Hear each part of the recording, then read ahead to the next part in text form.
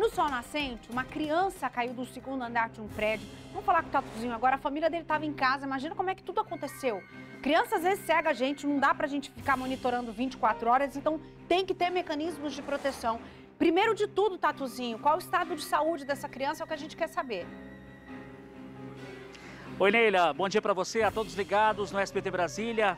No DF também no entorno, Neila, o estado de saúde dessa criança, essa menininha de apenas 6 anos de idade, é grave, porém estável. Ela foi socorrida primeiro, Neila, para o Hospital Regional de Ceilândia, que é aqui da região, onde nós estamos, e depois levada, transferida para o Hospital de Base. E ela se encontra neste momento no hospital, contando com todo um aparato de médicos e enfermeiros por conta da situação do estado de saúde, Neila. Nós viemos, Neila, com exclusividade, o SBT está aqui no condomínio Parque do Sol, que fica na região administrativa do Sol Nascente e Pôr do Sol. Esse condomínio, nele, você sabe muito bem, ele foi entregue recentemente pela CODAB para os moradores aqui da região. Esse acidente aconteceu ontem, era por volta de umas 7 horas da noite. A criança, Neila, ela tinha pedido à avó para chupar uma manga, quando de repente ela foi para o quarto. No quarto, que tem uma cama, a criança acabou subindo, acabou se desequilibrando e caiu dessa altura aqui, Neila. Olha só, o dentinho vai mostrar, é onde tem aquela cortina laranjada. A criança caiu daquela altura, ela ficou aqui no chão, Neila, olha só onde inclusive está a manga que a criança estava chupando na hora do acidente. Veja só, a manga desse encontro aqui. Por conta do impacto da queda, a criança foi vista por alguns vizinhos depois do acidente. Imediatamente, vizinhos, familiares, amigos chamaram o corpo de bombeiros que prestaram o socorro, lógico, levando a criança para o Hospital Regional de Ceilândia, Neila. A família ficou desesperada porque na hora do acidente, dentro do apartamento, estavam a avó e também algumas tias que estavam no quarto, não viram o momento da queda. A criança por muito tempo ficou aqui em questão de silêncio. Ah, os bombeiros foram acionados, polícia militar, a 23ª delegacia, ela também foi acionada por conta da perícia, inclusive investiga o que de fato aconteceu. Mas o que chama atenção nele é que como o condomínio é novo, olha só, não há nenhuma tela de proteção, principalmente por conta das crianças. E a gente volta a falar daqui a pouco, Nila, trazer mais detalhes principalmente ouvir os moradores e os familiares que já estão ali, que vai falar com a gente, o avô da criança, o tio da criança, como tudo aconteceu e como eles estão vivendo agora, neste momento, a criança internada em estado grave no hospital de base aqui de Brasília. Neila. Ai, Tatuzinho, o coração da gente sobressalta só de ver a notícia, só de saber o que aconteceu. Só por essa vista que a gente deu aí do prédio, a gente viu que quase nenhum apartamento tem tela de proteção eu consegui ver que só um, olha, a gente vê que a janela dela não tinha, óbvio. Mas de todos os apartamentos que mostraram, eu acho que só um da esquerda, no outro prédio, eu vi tela de proteção. E o mais importante, como o Tatuzinho falou, ela subiu numa cama que estava próxima à janela. Então, tudo isso a gente tem que tomar cuidado. Não tive tempo de botar tela, não tive dinheiro para botar tela. Afasta todos os móveis da janela e do que seja alto para uma criança. Imagina o susto de uma mãe ao receber a notícia de que a filha de seis anos caiu no segundo andar de um prédio. Foi o que aconteceu no Sol Nascente. O Tatuzinho está lá no prédio, vai conversar com a família e, e vai dar detalhes dessa história para a gente que só nos ensina alguma coisa. A gente precisa cuidar das janelas e da altura para apartamentos que tem criança. Não é isso, Tatuzinho?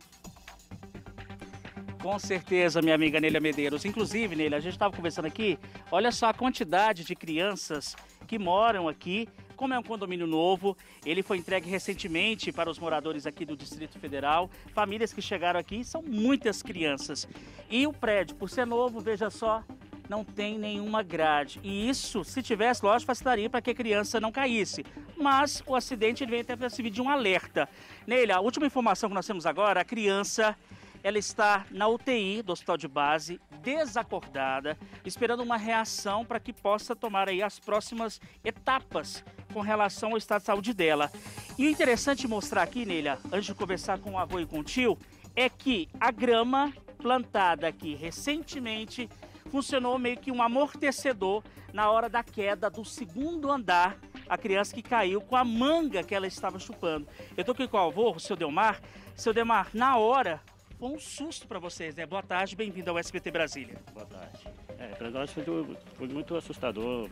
Minha mulher está tá muito chocada, né? Muito abalada. Inclusive até tiramos ela daqui, né?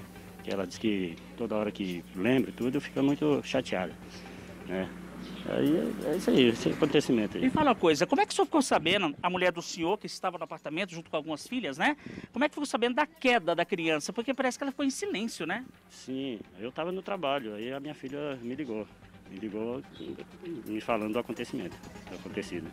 Agora, a notícia triste é que ela está em um estado dela, está desacordada, mas vocês estão na fé, na esperança que tudo vai se restabelecer, né? Sim, com fé em Deus, vai dar tudo certo, vai estar se recuperando, graças a Deus vai, vai se recuperar bem. Aí. Neila, aqui está o tio, deixa eu falar aqui com o Tiago, que é o tio da criança de 6 anos. Tiago, uma fatalidade, um acidente, né? Como a gente disse, a criança recebeu uma manga da avó para chupar, foi até o quarto, tem uma cama próxima à janela, quando houve a queda.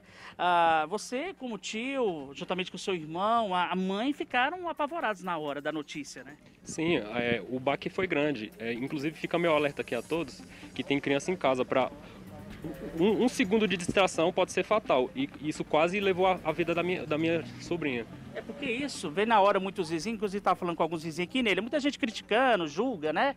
É, o pessoal falando nele, inclusive tem até uma fala de uma das vizinhas aqui, dizendo de que veio um agente aqui de um órgão responsável falando que se as famílias economizassem o dinheiro da cerveja, daria aí para essas famílias comprarem telinha. Mas não é isso, né, Tiago? Esse aí a criança tem que ter cuidado 24 horas ligada, né? Sim, independente da condição, é, a criança é criança, independente de condição. Ela precisa ser é, vigiada 24 horas. Foi um momento de deslize, um descuido, e acabou acontecendo essa fatalidade. A gente, a gente torce para que ela se recupere bem e, e que não tenha sido nada tão grave. Você mostrou inclusive o áudio agora da, da parente, a mãe que acompanha ela na UTI. Como é que ela está a situação dela? Eu falei agora há pouco, mas quero ouvir da, de você para os nossos telespectadores. Sim, é que o estado de saúde dela permanece grave, porém estável. É, as próximas 24 horas vão ser fundamentais e extremamente importantes para é, ver como vai ser os, as próximas etapas do tratamento e como ela vai reagir quando ela for desacordada. Tá aí, Leila, o Tiago, tio, gentilmente falando conosco aqui no SBT Brasília, o avô também, seu Demar, muito obrigado pela atenção. Aí do estúdio, minha amiga, alguma pergunta a fazer para os familiares da pequena criança de 6 anos que sofreu esse acidente ontem, 7 horas da noite? Olha, Tatuzinho, eu queria saber o nome dela, mas eu acho que isso é, pode ser uma coisa muito pessoal. Eu quero perguntar o nome para que as pessoas possam orar por ela, mas independente disso, não precisa dizer. Eu queria que todo mundo que tem fé nesse momento fizesse pensamento positivo para essa criança.